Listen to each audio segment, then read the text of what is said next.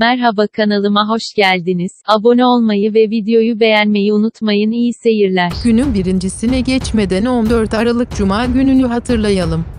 Haftanın en yüksek puanını alan gelini 69 puanla Elif oldu. Elif 5 altın bileziğin sahibi oldu. Haftanın en düşük puanını alan gelini 53 puanla Emel oldu. Emel kaynanası Tuğçe ile yarışmaya veda etti. 17 Aralık Pazartesi günü kim çeyrek altını kazandı? Detaylara geçelim. 17 Aralık Pazartesi günü kıyasya mücadele yaşandı. Yarışmaya Yağnur ve kaynanası Nilgün katıldı. Yağnur 10 senelik evli. Arnavut göçmeni ve Manisalı. Bugün, tepside içli köfte yapıldı. Fatih Ürek, tepside içli köfte listesini gelinlere verdi. Kaynanalara da bir buçuk dakika verdi. Kaynanalar da gelinlere tarif ve dikkat edilmesi gerekenleri söylediler.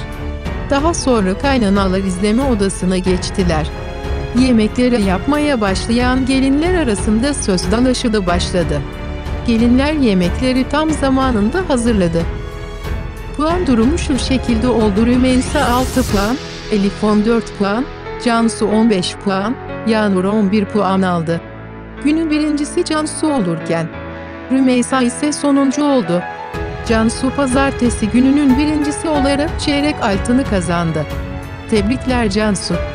Videoyu beğenmeyi ve kanalıma abone olmayı unutmayınız. Hoşçakalın.